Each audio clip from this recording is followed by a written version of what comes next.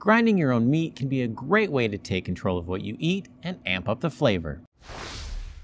Hi, I'm Ryan from the Grill Top Experience, and this video is the first in a series of teaching you how to master the basics of grilling.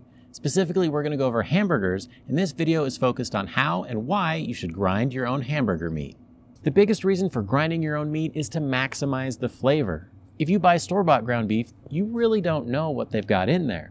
If they're doing a lot of steaks that week, you might end up with some steak in your grind, or it could be some of the cuts that they can't really sell, like head meat.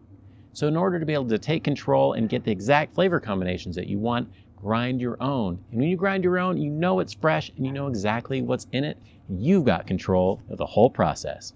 Most grinds are a blend. This one uses chuck to increase the fat content, but it isn't known for having a strong flavor, with some sirloin, which has a much stronger beef flavor, but is too lean for hamburgers on its own. We're aiming for about 80% meat and 20% fat for a juicy burger that won't shrink as much on the grill. If you see anything that you wouldn't want to eat, like silver skin, remove it so it doesn't end up in the grind. Cut up the roast into roughly 1 inch cubes. Some grinders can handle bigger pieces than others, but for mine, this size works best. A lot of people suggest cutting out the fat and weighing it out exactly, but I'm working with averages here, and a 50 50 mix will give me about 80% meat and 20% fat.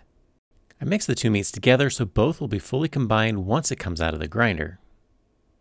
I like to add a half a teaspoon of black pepper per pound of meat, a half a teaspoon of garlic powder, and an eighth teaspoon of cumin. And I know that cumin sounds weird, but it helps enhance the meaty flavor. I'm not adding any salt at this point because it can ruin the texture if it's added too early. Next, put the meat in the freezer for 15 or 20 minutes to firm up for easier grinding. Today I'm using a pretty inexpensive meat grinder, but a lot of people use an attachment on their stand mixer, which works pretty well as well. If you don't have either of those, I'm going to show you how to do it in the food processor a little bit later in the video. All of the grinder pieces have been in the freezer for at least an hour, and that means they're ice cold. And that'll make it so I can grind up a lot more meat before things warm up and starts melting the fat and gums up the grinder. I'm also using the large plate, which gives me bigger pieces coming through. I like that a lot better than the small pieces because that is better for things like really fine sausage. But for hamburgers, the large plate is just perfect. I shouldn't have to say this, but I don't want any missing appendages. Don't put anything in the meat grinder you don't want in your hamburger. So make sure you use the plunger that came with the grinder, not your fingers or wooden spoons or anything like that. Because the rest really isn't rocket surgery. Just put the meat in the grinder until it's all done.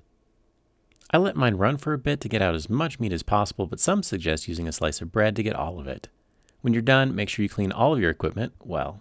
It's not uncommon to hear about recalls for ground meat because of E. coli. If you're one of those people that likes your burgers cooked medium, you can reduce but not completely eliminate your risk by grinding your own meat. We do that because I always keep my equipment clean and we work in small batches, and that reduces the chances that you're going to get it contaminated with E. coli. But spoiler alert, I always cook my burgers completely well done, but they're still juicy. In another video, I'm going to show you how. My favorite burger size is a third of a pound or about 150 grams. And that's a good size for most people. I always weigh them, which helps keep things even when I grill them and keeps the cooking times consistent. There's some burger forming accessories, but I really don't like them. They end up smashing the burger too hard, and I prefer using my hands instead. I smash them flat until they're about a half inch bigger than the bun I plan to use, and then I go around the edges to make sure none of the pieces fall off when I grill them. Then push in the center slightly so when it cooks and swells, it'll be flat. After the first couple, it'll be second nature. I like to separate them with sheets of parchment paper, which keeps them from sticking and makes it easier to put them on the grill later. Frozen, freshly ground hamburgers are still better than most store bought ground beef. I'll often vacuum seal some with some parchment paper for another day. What are your favorite burger toppings? Put them down in the comments below and we might feature them in an upcoming video. A lot of people will tell you that grinding your own meat is cheaper, but it's not. If you buy the whole cuts on sale, you can bring the price down, but it's often more expensive. Take one from the butcher's playbook and use your own trimmings in your grind, and you'll never throw away your brisket trimmings again. You can use the fat with sirloin to get the ratio you want, or you can use the meat itself, and it is fantastic. So, who doesn't love having bacon on their burger? But this burger is going to have bacon inside of it. The recipe is two parts of sirloin, one part bacon, and that'll give us about an 80 20 blend of ground beef, and ground pork, and it's going to come out absolutely amazing. I'm weighing out the meat to make sure I get the right amount of each one. I want twice as much sirloin as bacon to get the right ratios between meat and fat.